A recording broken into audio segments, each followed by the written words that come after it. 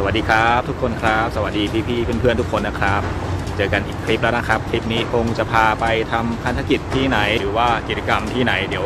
ตามพงไปเลยนะครับ ไปดูกันเลยครับว่าพงจะพาไปทำพันธกิจอะไรสำหรับวันนี้นะครับ ไปกันเลยครับ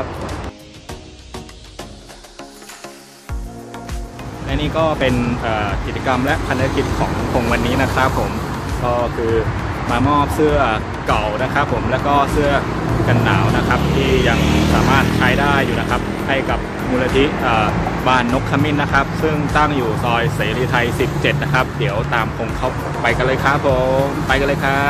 บบ้านนกขมิ้นนะครับผมก็จะมีจุดให้เราวาง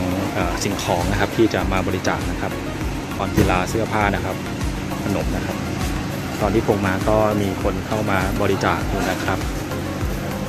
มีเลี้ยงข้าวน้องผ่านมือถือด้วยนะครับนี่ก็เป็นสแกนเพื่อบริจาคนะครับผม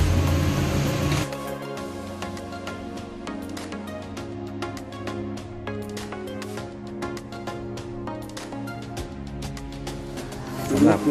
ผู้ที่มาบริจาคนะครับผมหรือว่าเข้ามาในบ้านมูลนิธินกขมินนะครับ ก็จะมีการให้ลงทะเบียนแล้วครับ แล้วก็ผู้ที่บริจาคก็สามารถ ของไปเสร็จได้นะครับ ผม แล้วก็ทางมูลนิธิก็จะมีของที่ระลึกให้นะครับ ผมนี่ครับก็จะประมาณนี้ครับ ขอบคุณมากนะครับพี่ครับขอบคุณ